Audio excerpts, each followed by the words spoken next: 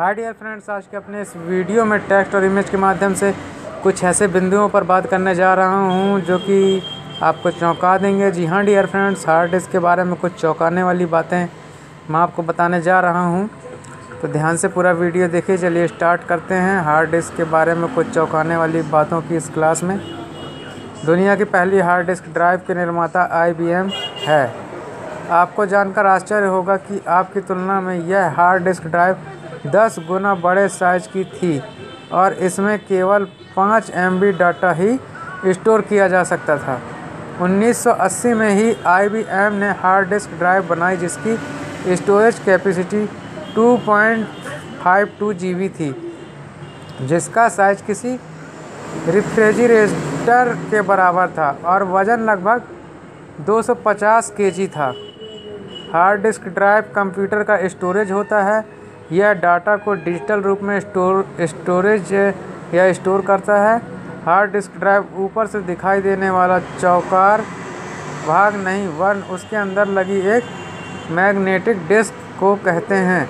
इसी magnetic disk पर data save रहता है। इस मैग्नेटिक डिस्क को तीन भागों में बांटा गया है। ट्रैक, सेक्टर और क्लस्टर। हार्ड डिस्क ड्राइव से डेटा को डिलीट या फॉर्मेट करने पर भी डाटा की इमेज पर इमेज उस पर अंकित रह जाती है, जिस कारण डिस्क रिकवरी सॉफ्टवेयर द्वारा हार्ड ड्राइव की डाटा रिकवरी किया जाना संभव होता है। हार्ड डिस्क ड्राइव में डाटा मापने की सबसे छोटी यूनिट है बाइट। उसके बाद यह बढ़ती चली जाती है, कुछ इस प्रकार। इससे भी छोटी हो सकती है बिट डियर फ्रेंड देखते हैं. वन मेगा बाइट मीन्स एक हज़ार चौबीस किलो बाइट और वन गीगा बाइट इक्वल एक हज़ार चौबीस megabyte one thousand twenty four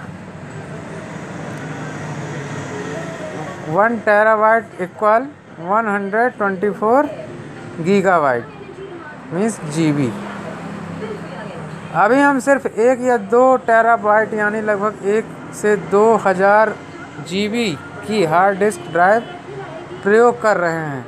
लेकिन भविष्य में इससे भी बड़ी स्टोरेज कैपेसिटी की हार्ड डिस्क ड्राइव आने की संभावना है। तो डियर फ्रेंड्स ये थी हार्ड डिस्क के बारे में कुछ रो, रोचक जानकारी। Thank you very much